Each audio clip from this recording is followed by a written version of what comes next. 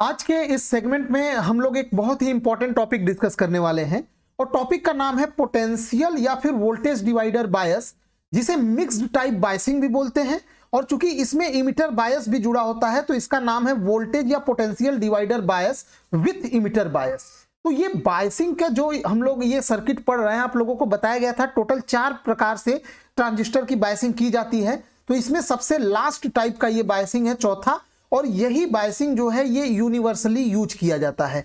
यानी सबसे ज़्यादा ट्रांजिस्टर के एम्पलीफिकेशन वाले सर्किट में इसी प्रकार के बायसिंग का प्रयोग किया जाता है, क्योंकि ये सबसे ज़्यादा स्टेबिलाईजेशन यही सर्किट प्रोवाइड करता है।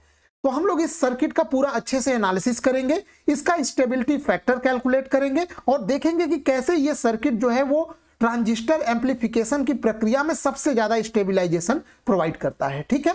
तो ये जो वीडियो है, ये आपके बीएससी फोर्थ सेमेस्टर फिजिक्स का, जो perspective of modern physics and basic electronics है तो उसमें पार्ट बी का बेसिक इलेक्ट्रॉनिक्स का जो यूनिट नंबर फाइव है, उसमें यहाँ पे आपको ये मेंशन है, यहाँ पे ये मिलेगा voltage divider bias second last topic है, इसके बाद एक टॉपिक और है, फिर ये यूनिट खत्म हो जाएगा, ठीक है?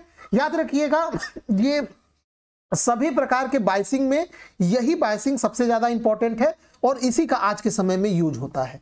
तो देखिए, यहाँ पे ये पहले सर्किट आप समझिए कि क्यों इसको पोटेंशियल डिवाइडर बोला जाता है और साथ साथ इमीटर बैसिंग तो पिछले पिछले लेक्चर में मैंने आपको इमीटर बायस बताया था तो इमीटर बायस में कुछ किया नहीं जाता है, केवल इमीटर से एक रेजिस्टेंस लगा दिया जाता है यहाँ ताकि स्टेबिलिटी बढ़ जाए।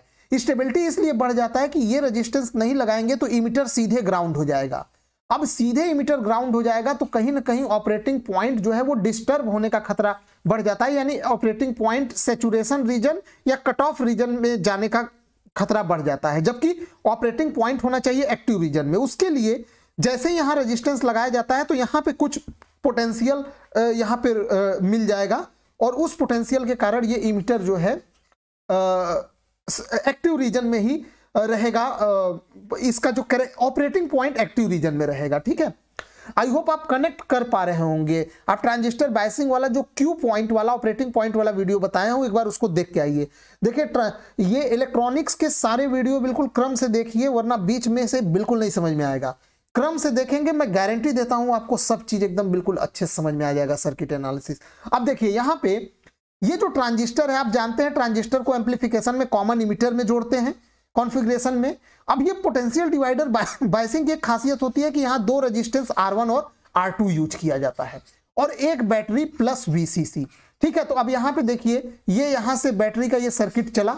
यहाँ से एक रेजिस्टेंस R1 और ये बेस से होते हुए ये दूसरा रजिस्टेंस आर R2 और यहाँ पे ये एक लोड रेजिस्टेंस या एक कैपेसिटी एक ये कलेक्टर पे रेजिस्टेंस लगाया जाता है। आरसी यहीं से हम लोग लेते हैं आउटपुट तो आउटपुट लेने के लिए यहाँ पे ये कैपेसिटर एक लगा दिया जाता है। क्यों लगा दिया जाता है? ये हम लोग बाद में डिस्कस करेंगे। कैपेसिटर का एक्चुअल में रोल होता है कि डीसी वोल्टेज को यहीं पे ब्लॉक कर दे और केवल और केवल एसी सिग्नल ही आउटपुट में जाए। क्योंकि DC signal capacitor DC signal को ब्लॉक कर देता है। अगर डीसी ये कैपेसिटर नहीं लगाएँगे तो डीसी सिग्नल भी आउटपुट में चला जाएगा और इसकी बायसिंग डिस्टर्ब हो जाएगी। क्योंकि डीसी सिग्नल का काम होता है केवल बाइसिंग करना।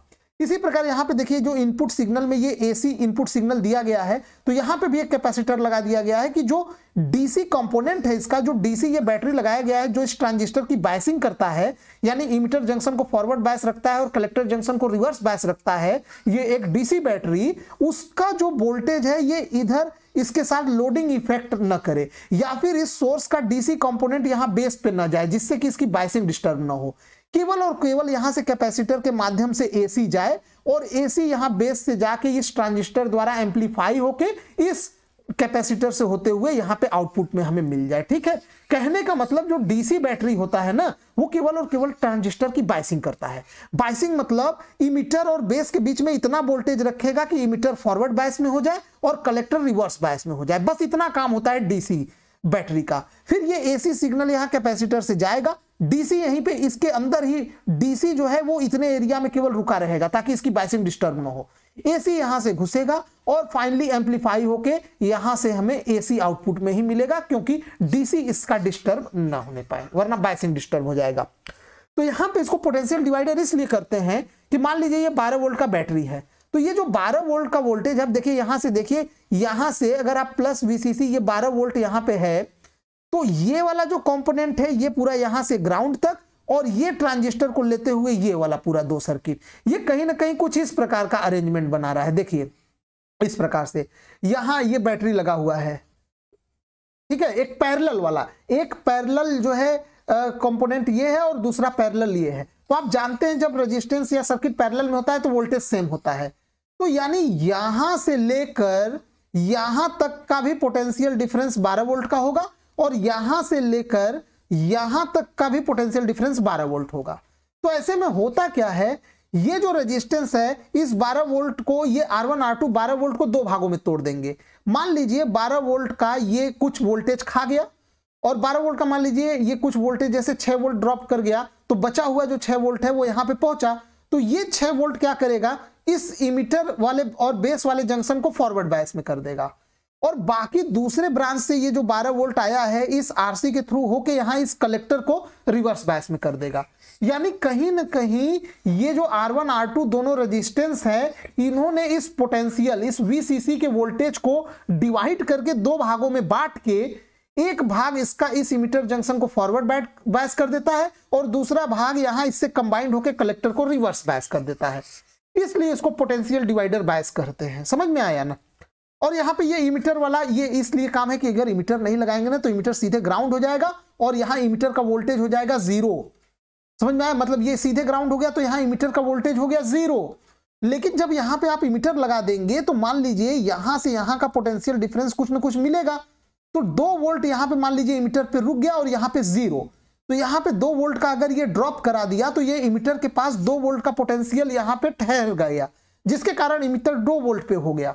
तो कहीं ना कहीं इमीटर इस ट्रांजिस्टर के वर्किंग में स्टेबिलिटी आ जाता है, ठीक है? ऑपरेटिंग पॉइंट को कट ऑफ़ या सेचुरेशन रीजन में जाने का खतरा टल जाता है। तो ये पूरा ये सर्किट इस तरह से काम करता है। यानी सॉरी आगे बढ़ते हैं, बाकी सब चीज़ें इसी के थ्योरी के साथ आपको समझाता रहूँगा, ठीक है? अब यहाँ पे देखिए, ये नोट सेगमेंट भी देखते चलिए। In this method the in this method the forward bias of emitter based junction and reverse bias of the collector based junction are provided by the supply voltage VCC through the resistance R1, R2 and RE ठीक है इन्हीं तीनों resistance का role होता है। इस विधि में केवल एक ही बैटरी वीसीसी के सहायता से प्रतिरोध R1, R2 तथा RE के माध्यम से emitter based junction forward bias यानी अग्र अभिनत में और collector based junction reverse bias यानी पश्च अभिनत में रखा जाता है। आगे बढ़ते हैं। Resistance R1 and R2 acts as a potential divider अभी अभी मैंने बताया कैसे ये वोल्टेज को डिवाइड करके अपना काम करते हैं। Which provides biasing and emitter resistance R E provide stabilisation ये मैंने अभी अभी आप लोगों को समझाया है कि ये क्या इनका रोल होता है। मान लेते हैं let the current flowing through R one is I one and the current flowing through R two is I two क्योंकि बेस करंट बहुत ही स्मॉल होगा, इसलिए आई वन आई टू लगभग बराबर माना जा सकता है। एक बार फिर से सर्किट पे आइए। देखिए, यहाँ पे मान लेते हैं कि इस वाले रेजिस्टेंस में आई वन करंट फ्लो कर रहा है और इस वाले रेजिस्टेंस में आई टू चूँकि ये बेस करंट, ये माइक्रो एम्पियर के रेंज का होता है, बहुत कम होता है तो हम मान सकते हैं कि ये आई वन और आई टू लगभग दोनों क्या होंगे? बराबर होंगे। अब यहाँ पे हम लोग अपना लगाएँगे किरचाफ वोल्टेज लॉ। यहाँ पे देखिए, ये वाला। अभी अभी मैंने आपको सर्किट में बताया था, देखिए यहाँ पे देखिए। सर्किट में अभी अभी मैंने बताया था कि ये पैरेलल में है इसके तो यहाँ से मान के चलिए, ये यहाँ से यहाँ तक का सर्किट का पोटेंशियल डिफरेंस मिलने वाला है वीसीसी तो वीसीसी बराबर आई वन आर वन इसके अक्रॉस पोटेंशियल ड्रॉप प्लस इसके अक्रॉस पोटेंशियल ड्रॉप मतलब जैसे देखिए 12 वोल्ट का बैटरी है। तो 12 वोल्ट के बैटरी का मान लीजिए 8 वोल्ट ये खा गया तो बचा हुआ चार वोल्ट कौन खा जाएगा? ये खा जाएगा। अब बाकी यहाँ पे फिर पोटेंशियल डिफरेंस ज़ीरो तो यहाँ पे पोटेंशियल ड्रॉप आठ वोल्ट का हो गया, यहाँ पे चार वोल्ट का। तो आठ, चार बारह ही होगा ना? तो यही इसके cross potential drop I one into R one और इसके cross potential drop I two into R two दोनों को जोड़ देंगे तो किसके बराबर हो जाएगा? वीसीसी के बराबर हो जाएगा, बारह वोल्ट जो अभी मैं लेके समझा रहा हूँ। तो यही तो मैंने यहाँ पे किया है I one I R one plus I two R two equal to VCC अब यहाँ से देखिए I1 और I2 लगभग बराबर है। तो यहाँ से निकल के आया I1 one equal to V C C by R one plus R two तो कितना वोल्टेज डेवलप्ड होगा अक्रॉस R2 के अक्रॉस तो यहाँ पे अब ये तो पता चल गया कि चलिए I1 का मान आ गया और I1 I2 दोनों बराबर है। तो भाई इसमें भी आई वन करंट फ्लो कर रहा है, इसमें भी आई वन। तो इसके क्रॉस कितना पोटेंशियल ड्रॉप होगा? तो इसके क्रॉस जो पोटेंशियल ड्रॉप निकलेगा आर टू के क्रॉस उसको हमने यहाँ पे नाम दे दिया है वी टू यहाँ पे देखिए तो वी टू तो v इक्वल टू तो यहाँ पे वी टू इक्वल टू कितना हो जाएगा? V C C by R one plus R two into R two R two के क्रॉस लेना है। तो ये तो बड़ा सिंपल सा मैथमेटिक्स है सर्किट एनालिसिस का आप समझ रहे हैं। तो यहाँ पे आ, हाँ ये वोल्टेज हो गया। अब इसके बाद also V two equal to V B plus I into R यहाँ पर देखिए एक चीज़ और आपको समझना चाहिए। V B plus I into R अब देखिए, यहाँ से यहाँ तक के बीच का जो वोल्टेज डिफरेंस होगा, वही यहाँ से यहाँ तक का भी होगा, क्योंकि ये भी दोनों तो पैरेलल हैं। तो पैरेलल हैं तो इस ब्रांच में जितना पोटेंशियल डिफरेंस होगा, इस ब्रांच में भी उतना ही होगा। तो इस ब्रांच में पोटेंशियल डिफरेंस या पोटेंशियल ड्रॉप V2 है, और इस ब्रांच में यहाँ से यहाँ तक कितना है? देखिए, यहाँ से यहाँ तक चलेंगे बेस से इमीटर तो मान लेते हैं पोटेंशियल ड्रॉप ड्रॉप्स VBE यानी वोल्टेज बेस टू इमीटर है। और यहाँ इस रेजिस्टेंस में पोटेंशियल ड्रॉप कितना हो जाएगा? आई ई इंटू आर ई क्योंकि V equal to I R होता है। यानी जैसे देखिए, यहाँ से यहाँ तक का मान लीजिए पोटेंशियल ड्रॉप है चार वोल्ट। तो हो सकता है बेस से इमीटर के बीच का पोटेंशियल ड्रॉप हो एक वोल्ट। तो बचा हुआ तीन वोल्ट कहाँ पे ड्रॉप करेगा? यहाँ आई इंटू आर ई तो तीन प्लस एक चार, और यहाँ पे ये चार, ये बराबर होना चाहिए। इसीलिए V2 to is equal to ये होगा V B plus I E into R E यहाँ पर हम लोग लगाएँगे तो। तो अब यहाँ पे देखिए ये हो जाएगा। वही चीज़ मैंने यहाँ पे लिख दिया है। V2 two equal to V B plus I into R E अब आप जानते हैं emitter current equal to collector current plus base current होता है। क्योंकि बेस करंट बहुत ही स्मॉल होता है माइक्रो एम्पियर के ऑर्डर का, जबकि ये दोनों मिली एम्पियर के ऑर्डर के होते हैं। तो इमीटर करंट और कलेक्टर करंट लगभग बराबर ही होंगे। अब हम लोग फिर से इक्वेशन टू पे आते हैं। वापस हम इस मान को ले जाके इक्वेशन टू में एडजस्ट करेंगे तो देखिए हमें क्या मिलेगा? I E R E equal to V two minus V B E और यहाँ से आई ई e का मान निकाल लीजिए, वो हो जाएगा V two minus V B E बटे आर ई अभी अभी मैंने बताया इमीटर करंट और कलेक्टर करंट बराबर होगा। लगभग तो इमीटर करंट को हम रिप्लेस कर देंगे कलेक्टर करंट से, यानी ये हमारा कलेक्टर करंट आ गया। सवाल ये उठता है कि हम लोग इतना ये कर क्यों रहे थे? तो देखिए, ये इसलिए हम लोग कर रहे थे कि इससे हमें समझ में आया कि जो आउटपुट करंट है, यानी कलेक्टर करंट है, वो तो अल्फ़ा या बीटा जो है, जो करंट गेन है, उस पर तो निर्भर ही नहीं कर रहा है। So this circuit provides very good stabilisation sorry क्योंकि हमारे बाइसिंग का यही कंडीशन था कि बाइसिंग में चाहे कुछ भी करिए आउटपुट करेंट को जो transistor parameter alpha and beta होता है, इससे इनडिपेंडेंट बना दीजिए। जब ये इस पर नहीं निर्भर करेगा तो ये किसी चीज़ पे निर्भर नहीं करेगा तो ज़्यादा आउटपुट करंट फ्लक्चुएट होगा ही नहीं। तो यही तो इसमें दिख रहा है कि आईसी आउटपुट करंट में अल्फ़ा बीटा का फैक्टर ही नहीं है। इसका मतलब ये एक अच्छा स्टेबिलाईजेशन प्रोवाइड करेगा। अब हम लोग इसका स्टेबिलिटी फैक्टर कैलकुलेट करते हैं। तो ये I1 और V2 का मान मैंने सीधे ऊपर से लिख दिया है। ये ऊपर हम लोग कर चुके हैं, ठीक है? ये ये मैं सीधे लिख दू। अब मैं किरचाप वोल्टेज लॉ अप्लाई करता हूँ कलेक्टर सर्किट पे। तो कलेक्टर सर्किट पे आ जाइए। कलेक्टर मतलब ये जो दूसरा वाला ब्रांच था, दूसरा वाला ब्रांच यहाँ पे आइए।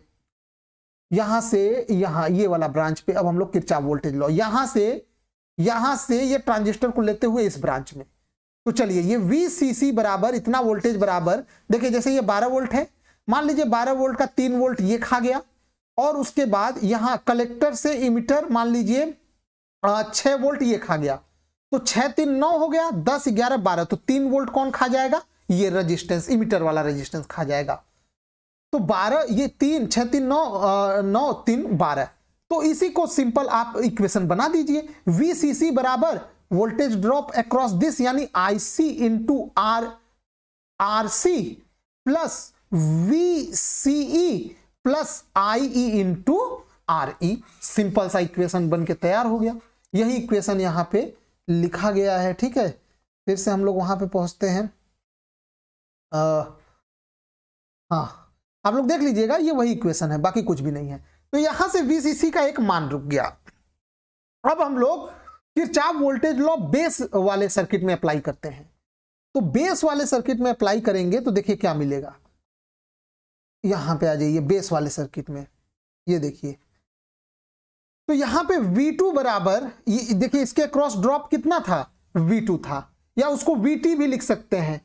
तो V two is equal to अब यहाँ पे वी टू इक्वल टू देखिएगा, ये V B plus this factor ये पूरा जुड़ेगा प्लस दिस फैक्टर यहाँ पे, ये बेस वाले सर्किट में जब किरचाफ लॉ लगाएँगे तो देखिए ये यहाँ पे, ये देखिए वीटी वीटी यहाँ पे टी कोई मतलब नहीं है, या वीटी और वी टू दोनों बराबर ही हैं तो वी टू ही पढ़िए, चलिए वी टू बराबर I B into R T R T क्या है? आर वन और आर टू का इक्विवेलेंट रेजिस्टेंस है ये plus V B plus I E into R E ठीक है? सिंपल सा, बिल्कुल थ्योरम तो यहाँ से V2 यानी VT इक्वल टू यहाँ I E emitter equal to base current plus collector current रख देंगे इंटू आर ई याद रखिएगा आर टी क्या है? आर वन और आर टू का इक्विवेलेंट है, और वी टी और वी टू दोनों बराबर है।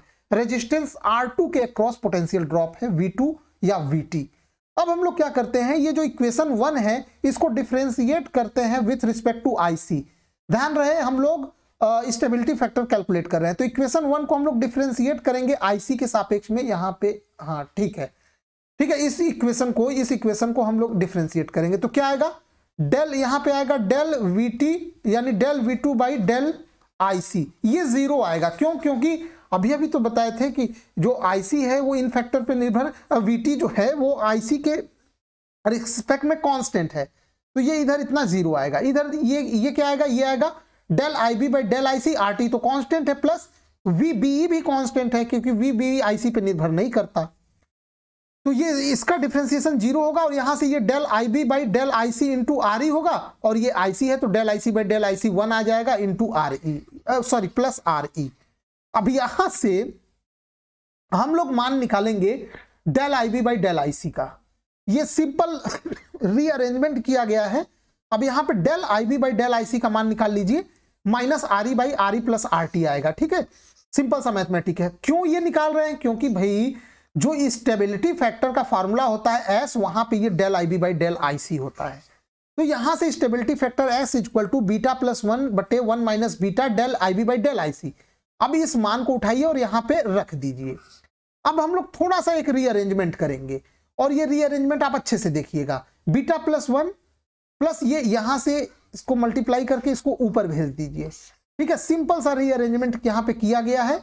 उसके बाद यहाँ से देखिए, ये ये रीअरेंजमेंट आप लोग आराम से इसको अच्छे से समझिएगा यहाँ पे। ठीक है? इसको जब आप सॉल्व करेंगे रिवर्स में तो ये वापस से यही फैक्टर आएगा। देखिए R E into beta plus one ये बीटा प्लस वन में से आर ई कॉमन ले लेंगे तो उतना ही आ जाएगा प्लस आर टी होगा, और यहाँ पे R E plus R T R E R E वापस कट जाएगा तो ये वही चीज़ आएगा, यही वाला फैक्टर आएगा, ठीक है?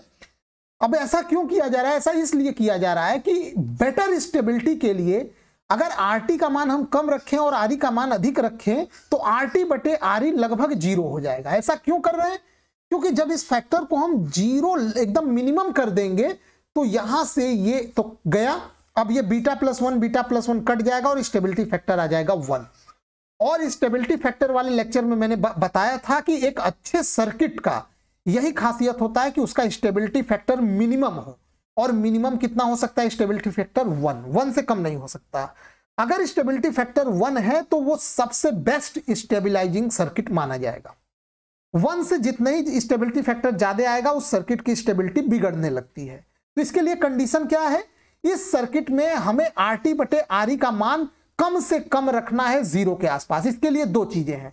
या तो आर टी का मान कम करिए, या आर ई का मान बहुत ज़्यादा बढ़ा दीजिए। इन दोनों कंडीशन से ये अचीव हो जाएगा। तो यही सर्किट का बाइसिंग कंडीशन होता है। बाइसिंग करते समय इतना ध्यान रखा जाता है कि आर टी का मान कम से कम हो और आर ई का मान अधिक से अधिक हो। तब जाके स्टेबिलिटी फैक्टर इसका वन आएगा और सर्किट अच्छा माना जाएगा। It is the smallest possible value of stability factor which leads to maximum possible thermal stability अब स्टेबिलाईजेशन इसमें हो कैसे रहा है? इसका मैंने एक फ्लो चार्ट बनाया है, आप लोग देख लीजिए, इसको समझ में आ जाएगा। फ्लो चार्ट इसे आपको समझ में आएगा कि कैसे इस सर्किट का स्टेबिलाईजेशन हो रहा है। स्टेबिलाईजेशन देखिए, मान लीजिए सर्किट में किसी तरह टेम्परेचर बढ़ गया। तो टेम्परेचर बढ़ेगा तो आप लोग जानते हैं रिवर्स सेचुरेशन करंट आईसीओ बढ़ जाता है। और जब जब आईसीओ बढ़ेगा तो कलेक्टर करंट आईसी बढ़ जाएगा। कलेक्टर करंट आईसी बढ़ेगा तो इमिटर करंट आईई बढ़ जाएगा क्योंकि दोनों ये बराबर होते हैं। अब जैसे ही ये इमिटर करंट आई ई बढ़ेगा तो वीई e, यानी इमिटर रेजिस्टेंस के क्रॉस पोटेंशियल ड्रॉप बढ़ जाएगा। इमिटर रेजिस्टेंस याद है ना जो इमिटर के नीचे देखिए आई ई e बढ़ने का मतलब हुआ यहाँ पे आ जाइए सर्किट में। आई ई e बढ़ने का मतलब हुआ इस वाले ब्रांच में करंट बढ़ गया। तो करंट बढ़ गया तो इसके क्रॉस जो potential drop V E is equal to I E into R E है, वो भी बढ़ जाएगा। अब ये बढ़ जाएगा आई ई इंटू आर ई तो अब यहाँ से देखिए आगे क्या होता है। जैसे ही आई ई इंटू आर ई बढ़ेगा, यानी वी ई e बढ़ेगा तो वी बी ई का मान कम हो जाएगा। क्यों? क्योंकि अभी अभी एक इक्वेशन में हमने निकाला था कि V two is equal to क्या होता है? V B E plus V E तो यहाँ से वी बी ई निकालेंगे तो वो आएगा वी टू माइनस वी अब ये वी का मान बढ़ रहा है यहाँ पे तो ऑटोमेटिक वी बी का मान क्या हो जाएगा? कम हो जाएगा। तो वी बी का मतलब हुआ यहाँ पे देखिए बेस टू इमीटर के बीच का जो वोल्टेज है वो कम हो जाएगा। पोटेंशियल ड्रॉप यहाँ बढ़ जाएगा। तो ऑटोमेटिक वी बी का मान कम हो जाएगा। क्यों? भाई, अभी तो मैंने समझाया था कि ये वाला जो है पोटेंशियल इसके इसके बीच का ड्रॉप यहाँ से यहाँ तक के बीच के ड्रॉप के बराबर होगा। क्योंकि ये दोनों पैरेलल में हैं तो यहाँ से V2 बराबर वी बी ई प्लस मिलेगा वीई वीई e मतलब ये आई ई इंटू आर ई तो अगर अगर ये मान बढ़ा और इन दोनों को मिला के इसके बराबर हो, होना है तो इसको तो घटना ही पड़ेगा ना? तो वी बी e क्या हो जाएगा? कम हो जाएगा। और जैसे ही बेस से इमीटर के बीच का वोल्टेज कम होगा बेस से इमीटर के बीच का वोल्टेज कम हुआ तो तुरंत बेस करंट आईबी भी क्या हो जाएगा? कम हो जाएगा। अब बेस करंट आईबी कम हो गया आपका इनपुट करंट ही कम हो गया तो ऑटोमेटिक आउटपुट करंट जो आईसी है वो भी तो कम हो जाएगा। तो यही तो इस सर्किट में बताया गया है स्टेबलाइजेशन के फ्लो चार्ट में। यही बताया गया है कि जैसे वी कम होगा बेस से इमीटर के बीच का वोल्टेज कम होगा, वैसे ही इनपुट करंट आईबी भी कम हो जाएगा। और आईबी कम होगा तो ऑटोमेटिक आउटपुट करंट आईसी कम होगा, और आईसी कम होगा तो ऑटोमेटिक ट्रांजिस्टर का टेम्परेचर डाउन हो जाएगा। और ट्रांजिस्टर का टेम्परेचर डाउन हो गया। तो ट्रांजिस्टर में थर्मल रन अवे नहीं होगा और थर्मल रन अवे नहीं होगा तो ट्रांजिस्टर जलेगा नहीं और हमारे ट्रांजिस्टर की स्टेबिलिटी बढ़ जाएगी। आई होप आपको ये समझ में आया होगा। आप लोग आराम से रिवाइज करके इसको पढ़िएगा।